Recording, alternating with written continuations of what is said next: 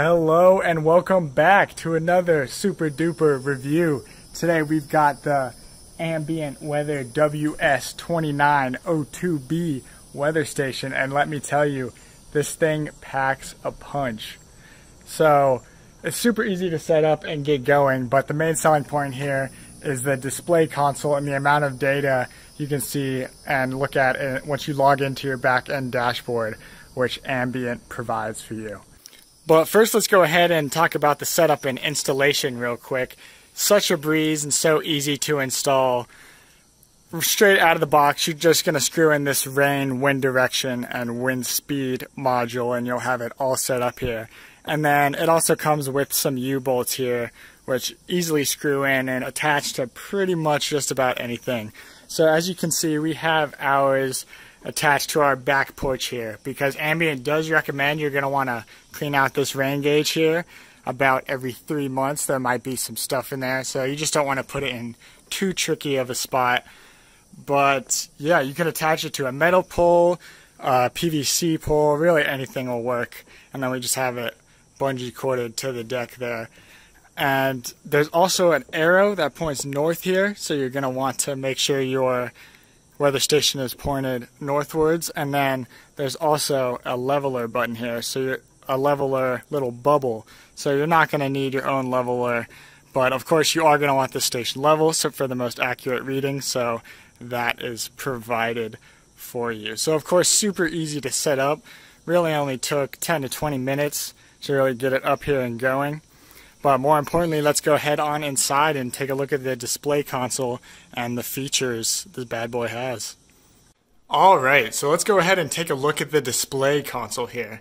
So with this weather station, you'll get your normal display console, but the really cool thing is that you'll be able to log into the ambient weather dashboard here and get an even better data view of your console. That's really better than this little thing.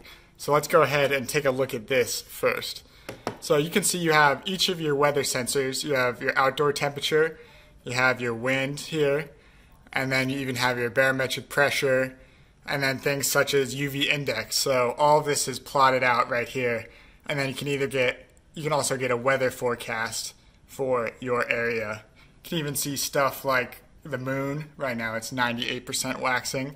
So just a lot of cool stuff that if you want to log in and play around with the data and see what's up, uh, this is a really cool weather station for that. So another cool feature here is that if you just click this little graph icon, it'll go ahead and take your most recent history and plot it out. So you can choose if you want to see that for the last month, for the last day. Right now I just have it for the last few hours and it'll show you exactly what's been happening over the course of that time period. So really cool stuff. And then you just go ahead and click this button to go back to your main dash view.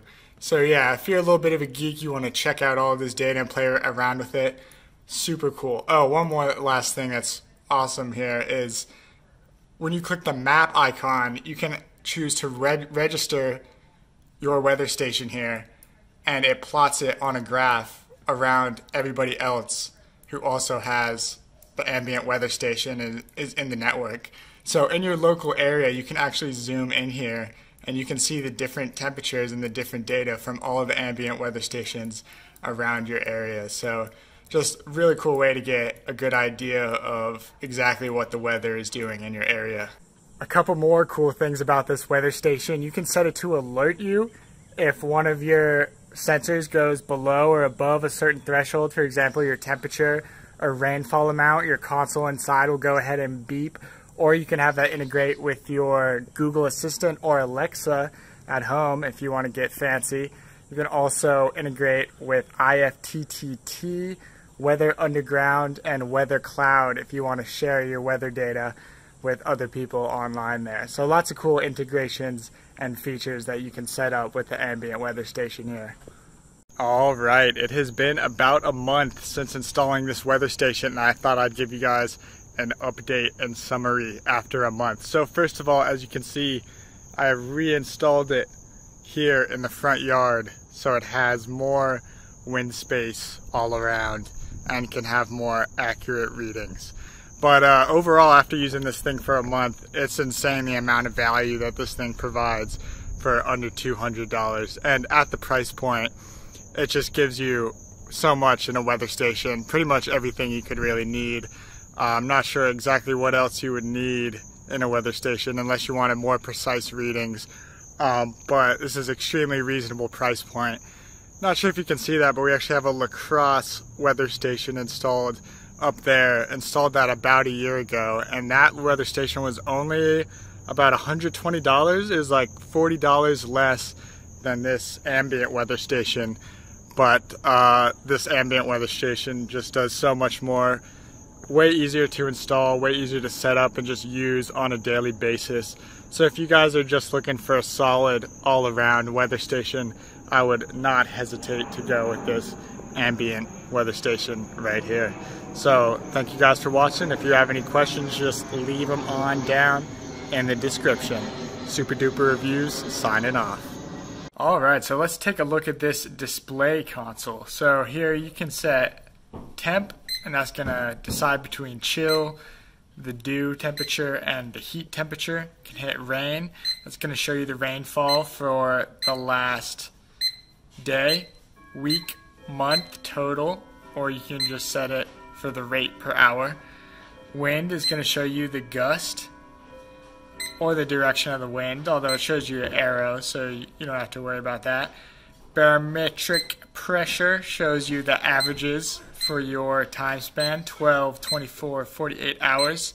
And then this alarm button is how you're going to set your min and max thresholds. And you're going to hear that little beep beep beep whenever your alarm goes off if you want to set an alarm for any of these data points.